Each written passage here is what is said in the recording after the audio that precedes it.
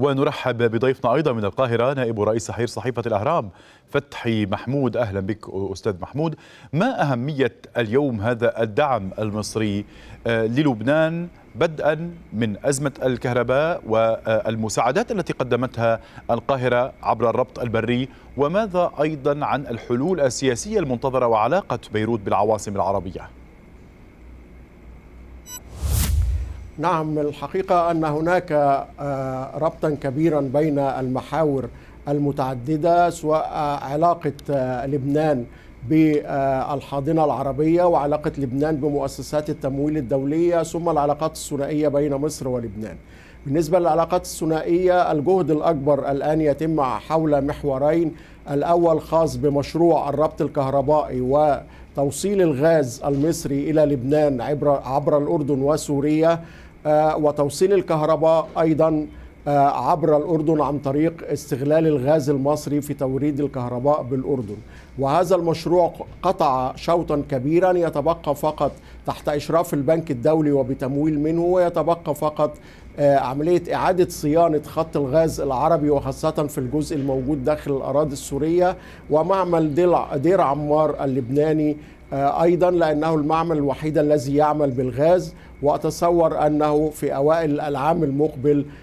سيكون هذا الخط دخل في حيز التنفيذ وهي مشكلة كبيرة جدا. إلى جانب المساعدات الخاصة بالوضع الصحي كانت مستمرة خلال الفترة الماضية من خلال المستشفى المصري ومن خلال كمية كبيرة من الأدوية الخاصة بكورونا وأتصور أن هناك اتفاق على استمرارها أيضا خلال الفترة المقبلة. الجهد الرئيسي الذي تقوم به مصر هو محاولة انتشال لبنان من أزمته الاقتصادية والسياسية ليس فقط عبر المساعدات التي تقدم مباشرة من الجانب المصري إلى الجانب اللبناني ولكن عبر قيام مصر أيضا بدور في الوساطة بين مؤسسات التمويل الدولية ولبنان ومحاولة التقريب وجهات النظر حيث تطالب المؤسسات الدولية والدول المانحة ببرنامج إصلاح اقتصادي معين قبل أن تقدم على تقديم أي مساعدات للجانب اللبناني. فيما يتعلق بالحاضنة العربية في الحقيقة فأن الجامعة العربية ومصر وهناك جهد كبير بينهما وبين لبنان لمحاولة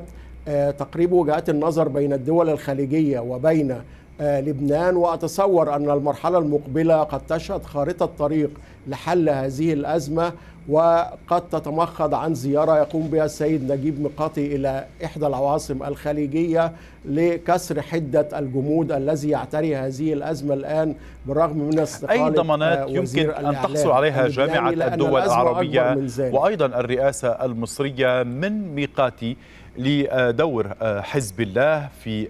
دول في المنطقة. وهذا القلق الكبير الذي تعيش تحته أيضا وشلل الحكومة اللبنانية الحالية أنا لا أعتقد أن هذا الأمر بشكل مباشر يمكن أن يكون أو أو يمكن أن يكون السيد ميقاتي نفسه قادرا على إيجاد حل جذري له في ظل الظروف اللبنانية الحالية، ولكن يمكن على الأقل أن تلتزم الحكومة اللبنانية ببرنامج معين يضمن كحد أدنى عدم تدخل حزب الله بشكل مباشر في أمن الدول العربية المجاورة، لكن المشكلة الأكبر هنا أنها تتعلق ليس بحزب الله ولكن بإيران باعتبار أن حزب الله هو أداة من الأدوات الإيرانية في المنطقة العربية، هذا الموضوع على وجه التحديد من الصعب اتخاذ إجراءات حازمة فيه. ولكن مساندة الوضع اللبناني يمكن أن يقلص إلى حد ما دور حزب الله في السيطرة على الوضع اللبناني الآن سواء السيطرة السياسية أو حتى من خلال استجرار مساعدات إيرانية مثل النفط وغيره حتى لو بشكل غير شرعي إلى داخل لبنان. ولذلك أعتقد أن التصور العربي الموجود حاليا هو أن زيادة الوجود العربي داخل لبنان والدعم الاقتصادي العربي يمكن أن يقلص إلى حد ما النفوذ أو سيطرة حزب الله اللبناني على الحكومة اللبنانية وأيضا الحد من نفوذه إلى حد ما في خارج لبنان. ولو أن هذه القضية الإقليمية تتعلق بأوضاع أخرى خارج النطاق اللبناني. حديث ميقاتي أيضا عن هذا الدور الإيجابي لجامعة الدول العربية والمواقف أيضا التي نقلها الوفد المرافق والمتصلة بزيارته الرئيس عبد الفتاح السيسي قد ترتبط بمهل زمنية للخروج من الأزمة السياسية الداخلية والمرتبطة بكل العناصر التي تحدثت عنها أستاذ فتحي. نعم أنا أتصور أن خارطة الطريق التي قد تكون قيد البحث حاليا تتضمن عناصر كثيرة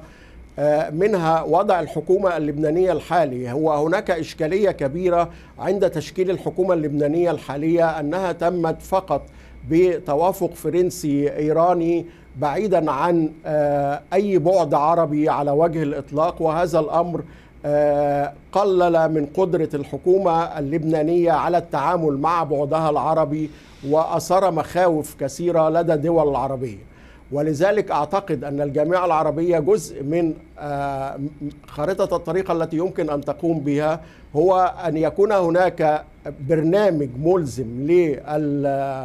للحكومة اللبنانية فيما يتعلق بآليات عمل الحكومة خاصة خلال الفترة المقبلة التي ستشهد انتخابات نيابية بعد أشهر قليلة فيما يتعلق بطريقة تعاطيها مع المؤسسات الدولية وفيما يتعلق أيضا بالأزمات التي أدت إلى عدم